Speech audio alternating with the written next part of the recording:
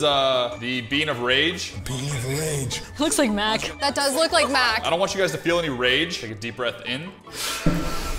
And out. Dude, did Avery scream twice? I do have one more exhibit to show you. I've got the cremated